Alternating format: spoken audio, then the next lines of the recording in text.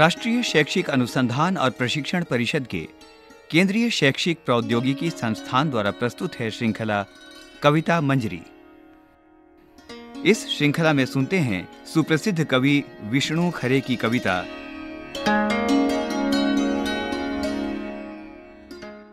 एक कम।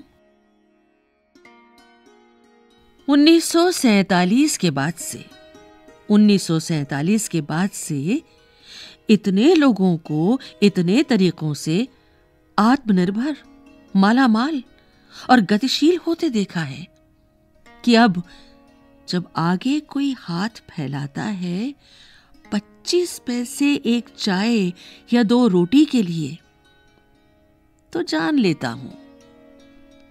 मेरे सामने एक ईमानदार आदमी, औरत या बच्चा खड़ा है। मानता हुआ कि हाँ, मैं लाचार हूँ, कंगाल या कोढ़ी, या मैं भला चंगा हूँ और कामचोर और एक मामूली धोखेबाज। लेकिन पूरी तरह तुम्हारे संकोच, लज्जा, परेशानी या गुस्से पर आश्रित। तुम्हारे सामने बिल्कुल नंगा निर्लज और निराकांक्षी। मैंने अपने को हटा लिया है हर होड़ से। मैं तुम्हारा विरोधी, प्रतिद्वंद्वी या हिस्सेदार नहीं। मुझे कुछ देकर या न देकर भी तुम कम से कम एक आदमी से तो निश्चिंत रह सकते हो। मुझे कुछ देकर या ना देकर भी तुम कम से कम एक आदमी से तो निश्चिंत रह सकते हो। निश्चिंत रह सकते हो।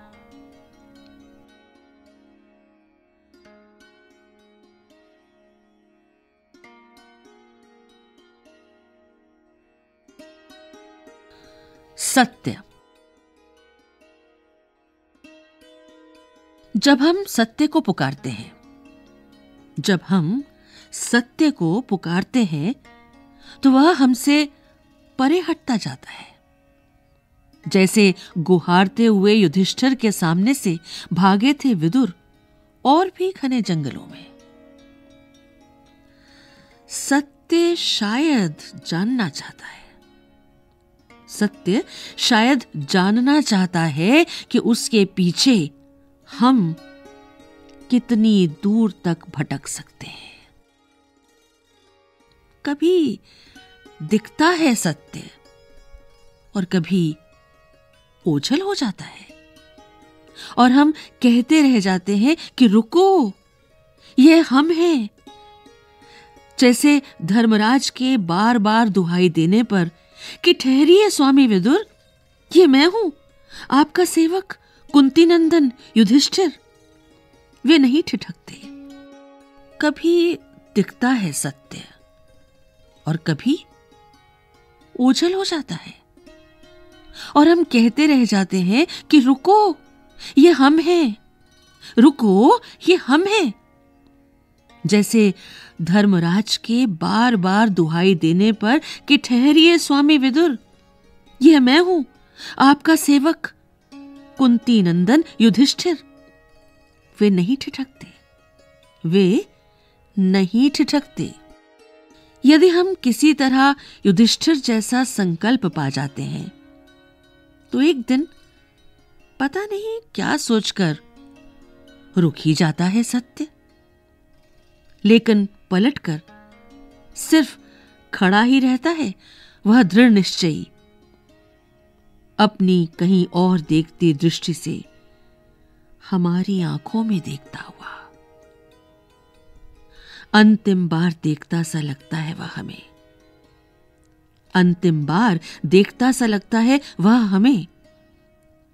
और उसमें से उसी का हल्का सा प्रकाश जैसे आकार समा जाता है हम में। जैसे शमी वृक्ष के तने से टिककर। न पहचानने में पहचानते हुए विदुर ने धर्मराज को निर्निमेश देखा था अंतिम बार। और उनमें से उनका आलोक धीरे धीरे आगे बढ़कर मिल गया था युधिष्ठिर में। सिर झुकाए निराश लौटते हैं हम। सिर झुकाए निराश लौटते हैं हम कि सत्य अंत तक हमसे कुछ नहीं बोला। कि सत्य अंत तक हमसे कुछ नहीं बोला। हाँ, हमने उसके आकार से निकलता वह प्रकाश पुंज देखा था। हम तक आता हुआ। वह हम में विलीन हुआ या हमसे होता हुआ आगे बढ़ गया? हम कह नहीं सकते। हम कह नहीं सकते।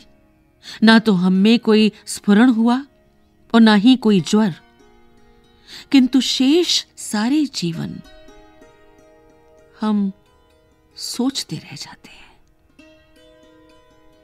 किंतु शेष सारे जीवन हम सोचते रह जाते हैं, कैसे जाने कि सत्य का वह प्रतिबिंब हम में समाया या नहीं?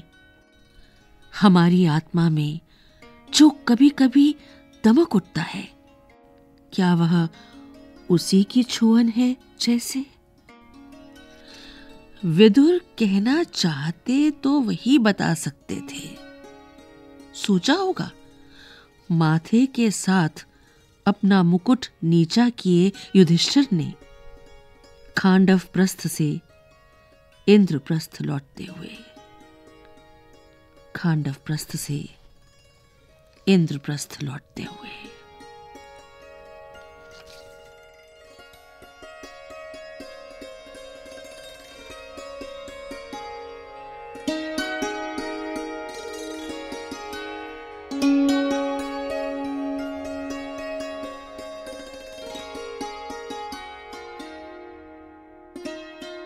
अभी आप सुन रहे थे ये कविता।